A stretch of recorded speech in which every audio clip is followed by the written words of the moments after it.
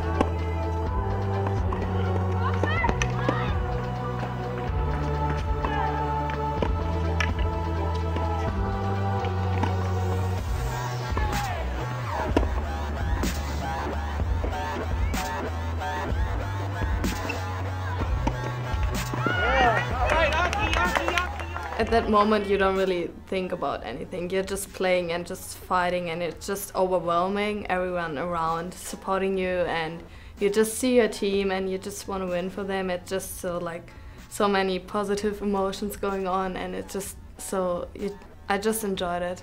I mean, yeah, I was of course I was nervous. I was like, well, it it comes down to my match, but I try to like fake it a little bit, not like because otherwise I would get tired. So I just like try to enjoy every moment and like yeah, I think it helped me. This helped me. Otherwise, I would maybe get tired. But so there was yeah, there was a way like I tried to handle this situation. Playing with Steph is really like I I learned so much from her and I think that's a like we really match. Like she's a senior, I'm freshman. Like I don't know the people I'm playing, so I'm just playing, and she is like teaching me a lot. And but at the same time, like we are always having fun on court. So and yesterday it was just we came out and we were just ready and pumped up and yeah we won the first match uh, first games and they were pretty close and but then we got on a roll and just it was just great Yeah, it was a great match. It was exciting. You know, I think coming on the like backstretch of three tough matches in five days is what was really exciting about it. You know, uh, I think we had every reason to be, you know, tired, you know, physically, emotionally after having tough losses to Vanderbilt and Ole Miss, and so, um, you know, I don't know. Most teams probably could have just folded then.